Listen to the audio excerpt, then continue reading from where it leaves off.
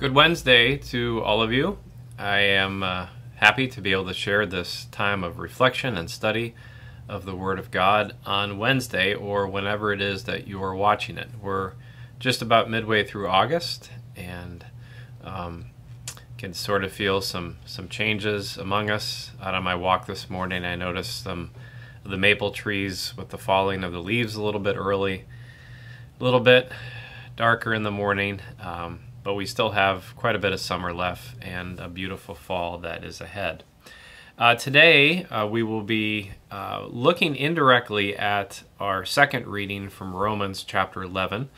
This Sunday is the 11th Sunday after Pentecost, and on the document in front of you, you'll see the four lessons Isaiah 56, verse 1 and 6 through 8, Psalm 67, Romans 11, uh, 1 through 2a and 29 through 32. And then finally, Matthew's Gospel 15, uh, 10 through 20 and 21 through 28. Just a, just a brief note um, you'll notice um, that the verses 10 through 20 are in brackets.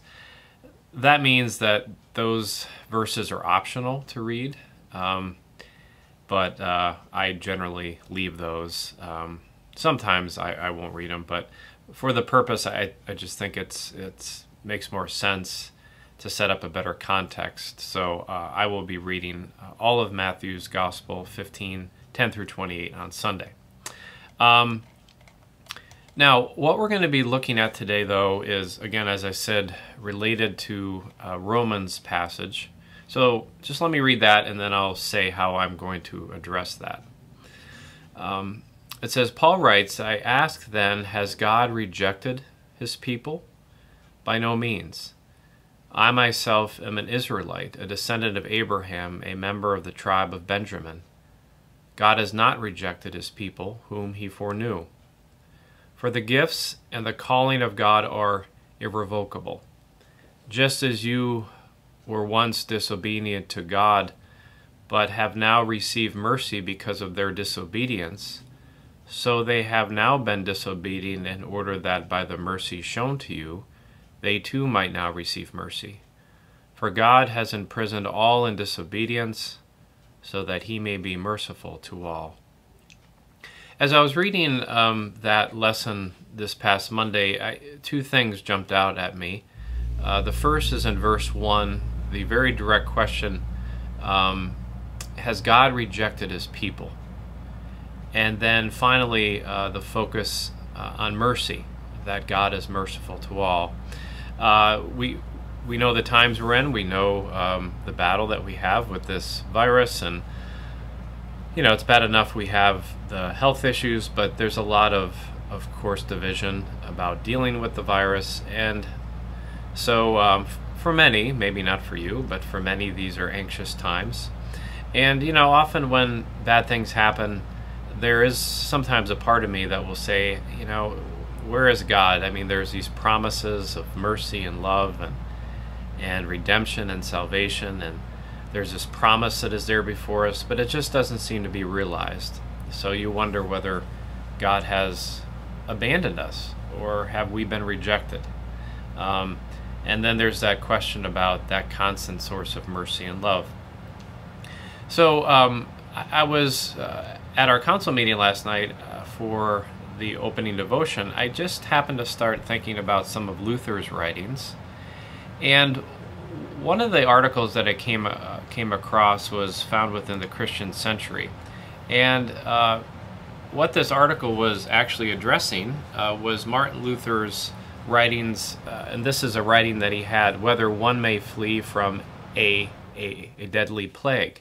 And he's addressing there's a plague going on, of course, and um, he's trying to address uh, for pastors and, and people to not flee, right, but to stay and to be present with the people who are suffering from the plague, as well as understanding that they very well may get it as well. Um, and then, uh, you know, that sort of article then spurned out into the concept of of Luther um, using this this alien work of God, um, meaning that when bad things happen, how is God involved in that bad thing. Did God create the bad thing, or is God just present in the bad thing? Um, because again, we we have these promises of love and mercy and, and care, and so we can't help but wonder uh, where God is um, within that. So let me just set up a little bit about this alien righteousness, this alien righteousness in Luther's gospel teaching, trying to describe and reconcile bad things, but knowing that there's a love that's there for us as well. Um, so let me just set this up with a couple paragraphs, and then I'll, I will definitely, uh, hopefully, at the end of this, this will all make some sense. It says, "What is perhaps the central gospel, uh, the, the central gospel distinction in Luther's thought, can be seen most clearly in his 1518 sermon, Two Kinds of Righteousness." Here he speaks of the righteousness that comes from outside of us. This righteousness, or this standing before God, this is called the righteousness in the presence of God. Um, this coram, uh, deo. Um, the second kind that Luther called the righteous as the coram mundo, uh, are good works in the world and for the world which are not uh, for the saving grace. So it, it's not about again we know this about doing good works to be saved, right? That that grace comes to us as a gift, and as a result of grace, we do good things. So the righteousness, or this coram deo, becomes our righteousness by a divine gift. It is not infused into us, nor does it in, inhere within us at some point. Luther says that it is a perfect righteousness acquired entirely from God in Christ and given to us by the Spirit. So it is this alien righteousness, this righteousness of Christ, by which we are made right with God, and it is received by faith. In his early days, Luther struggled to rid himself of this roiling angst about his guilt before a holy God. What little John Staupitz was able to do to console Luther's troubled conscience was enough to turn his sights true north. Staupitz, who was uh, Luther's confessor, who remained a monk to the end of his days, pointed him to a new understanding of Christ and his gifts. This life journey from before Wittenberg to Luther's final days in Erfurt give rich meaning to his thesis, and I quote, Every true Christian, whether living or dead, has part in all the blessings of Christ and the church. And this is granted him by God, even without letters of a pardon. And that this person shares in all of, of one's blessings.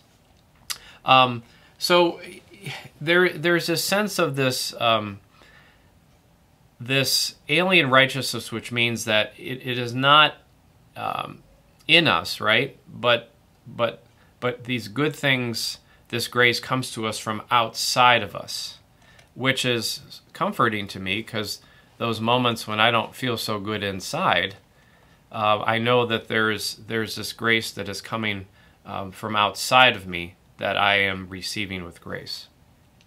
Okay, so that's just one one Luther concept that I wanted to share with you um, as a purpose to roll into the second thing that I wanted to discuss in light of the pandemic and also whether we've been abandoned um, or whether we have access to God's mercy.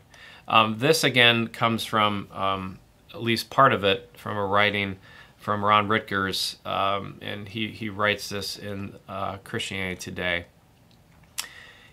He says if we could ask Martin Luther how to make sense of the current pandemic, he would likely encourage us to view it as the alien work of God. The phrase appears in his earliest lectures on the Psalms and again in his lectures on Romans and Hebrews, where he develops the defining contours of his evangelical theology. Luther believed that God is utterly sovereign over all things, including suffering of various kinds, God is even sovereign over Satan, whose plots in the world the Wittenberg reformer took very seriously. Luther was very honest about the reality of suffering in the world, along with the pain and and also the despair that it causes. There is nothing Pollyannish about his theology. But Luther firmly believed that God is good. God's very nature is ardent, self giving love, and this is the foundation for Luther. Human beings, on the other hand, are deeply sinful and strongly prone uh, to self glory in all things, which is, again, just as a pause to point back to that alien sense of righteousness, right? If if we inherently have this brokenness in us, um, then righteousness needs to come from outside of us. All right. So again, that that points to that alien righteousness that I addressed in the very first part. Even Christians um, have to engage in a daily life or death battle with the old Adam or the old Eve, which they can only win with with grace. Many are also prone, as he was himself prone, to see God as an angry judge who is easily provoked to wrath. Luther knew firsthand that when such souls experience suffering, they nearly always view it as a punishment for sins. So the phrase, the alien work of God, just that also is the second part to this alien righteousness, but the phrase, the alien work of God, was Luther's pastoral response uh, in the midst of the plague and the pandemic of his time, putting all these beliefs and concerns back together and offering some comfort in the midst of overwhelming suffering. The term expresses Luther's desire to assure Christians that God is for them, never against them, despite appearances to the contrary. Pretty pretty good to hear that today. According to Luther, suffering is God's work. That is, that God is the ultimate cause, although not necessarily its immediate cause. God can, can use the devil or other agents as tools to accomplish his larger redemptive purposes in the world. But suffering is not God's proper work, which is always to love and save. Suffering is alien to God in the sense that it is foreign to God's nature and intentions, even though God is still sovereign over it. Very important part there. This means that in the midst of suffering, faithful Christians shouldn't read their lives for signs of God's attitude toward them, but rather they should trust what Scripture says about God that God is good, not what fallen reason concludes that God is not. Um, which, again, this is the purpose of why we're doing these Bible studies and why we go to worship and why we have devotions. Um, to continually remind us um, about what Scripture says that God is good. Um, that's so important. And it may seem obvious, like, duh, I know that. But, you know, there's enough forces that are lining up against us to convince us that God is not good and that there are good things. Um, so, uh, hence, uh, we need to have that word, that alien righteousness that comes into us uh, to reinforce that and to remind us. Luther thought that if people relied on their own unaided efforts to find and understand God in the midst of the reality of suffering, they would wind up concluding that God is absent or that God doesn't love humans. But by faith, Luther believed that we can see through suffering to the true nature of God. So seeing through the suffering, not um, not avoiding the suffering, not um, seeing the suffering as the final statement of God, but you see through the suffering and when you go through the suffering, then you see the true nature of God. Luther's emphasis on suffering as the alien work of God was also connected to his larger conviction that God is mostly hidden from our view in this life. God can be discovered, however, in the last place that fallen human reason would expect to find God, and that is the cross. In fact, Luther once inserted, drawing directly on 1 Corinthians 1 18 uh, through 2 through 5 that and I quote God can be found only in suffering and the cross. That's the least likely places that people would ever look for God, right? But that is where God is found. According to Luther, God hides from view to confront us with our sin, which often necessitates this veil, and to drive us to know God by faith, which is itself a divine gift. Luther refers to such faith as an art or a craft, stressing that while faith is essential to the Christian life, it is also difficult, requiring daily practice in the surrender to God. In his treatise on good works, Luther explains how such faith rescues the Christian from despair during suffering. It is an art, and this and this actually comes from Luther.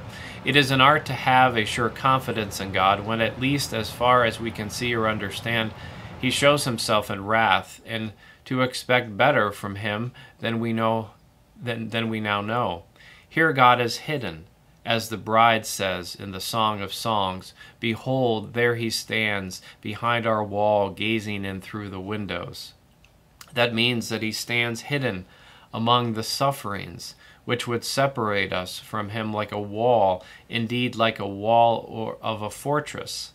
And yet he looks upon me and does not forsake me. He stands there and is ready to help in grace, and through the window of dim faith he permits himself to be seen. And Jeremiah says in Lamentations, and I quote, He cast men aside but that is not the intention of his heart. Uh, that's the end of uh, Luther's uh, writing on that. So, um, this is going to be a much shorter um, Bible study.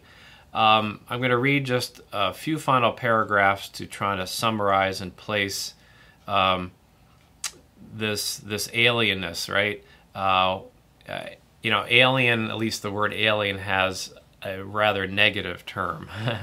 Um, movies that have the title Alien are not usually very pleasant movies. Um, you know, aliens come to destroy or to kidnap, or they're animals, or you know, whatever. But um, alien, uh, this alien righteousness, right? This this outside form um, coming to us and also coming um, among us.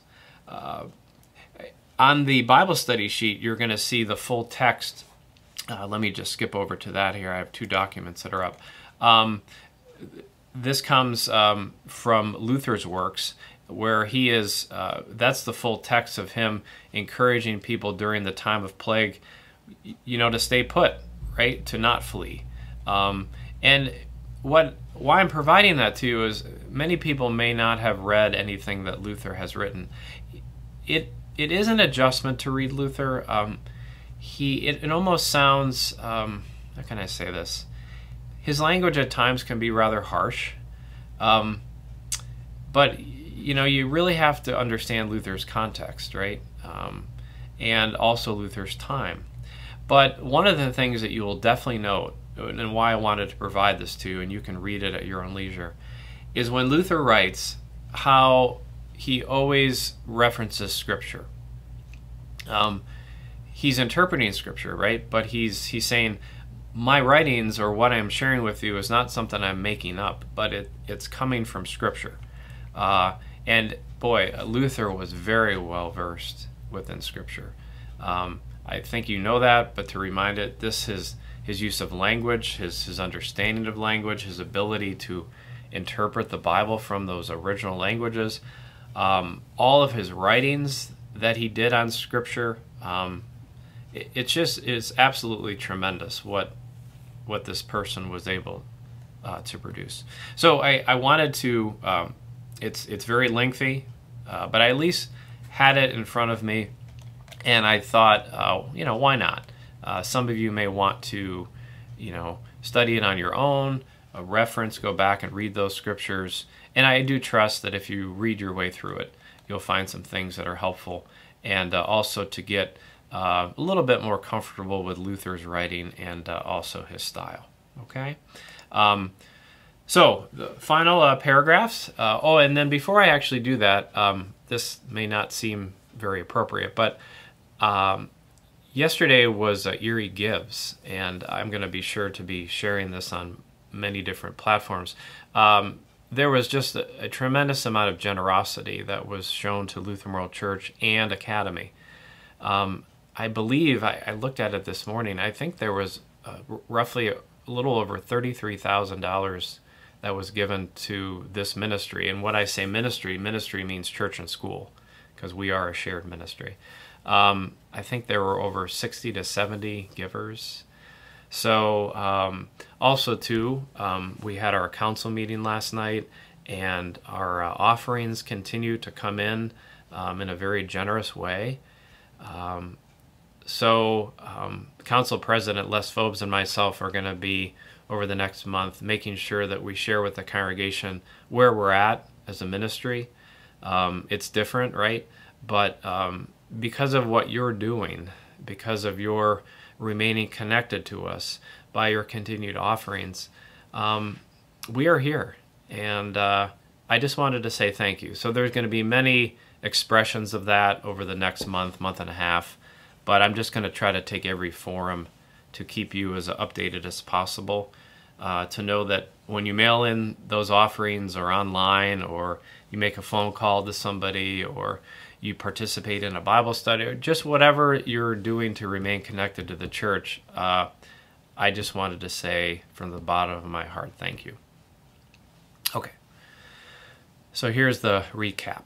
Uh, Luther, the father of evangelical Protestants, would want the faithful Christian to know that COVID 19 is not the proper work of God, but rather it is the alien work of God that summons us to know the true intentions of his heart by the art of faith, even as it is working to conform us to the image of Christ and his self sacrificial love. Luther would want to console us with these words, especially those of us who are inclined to doubt or, or despair. The current pandemic is dark and menacing for many of us, and it is easy to wonder whether there is a good and sovereign God in heaven or not. Luther would welcome and even encourage such honest questions. But he would finally want to teach us how to glimpse our loving yet hidden God as he beholds us in grace through the window he has placed in this wall of suffering. This window is faith. It is a dim faith, which clings passionately yet always imperfectly to the Word of God and its promises that God loves us in all things, including suffering. Dim faith may be all that we can muster in these difficult days. It is frequently all that I can muster, but it can suffice to assure us of what we most need in knowing that our God is with us and for us in this crisis, that God does not forsake us, but eagerly seeks to help us. For this is God's true heart. All of this may seem strange to us, but such is the alien work of God. So this was very enjoyable for me to share this with you today, and I do hope um, it was a little bit different, but I do hope it's expanding the way that we study Scripture, that we're exposed to new topics. And uh, so I'm always honored and privileged to be able to share it with you, the good people of Luther Memorial Church and Academy. Bye bye.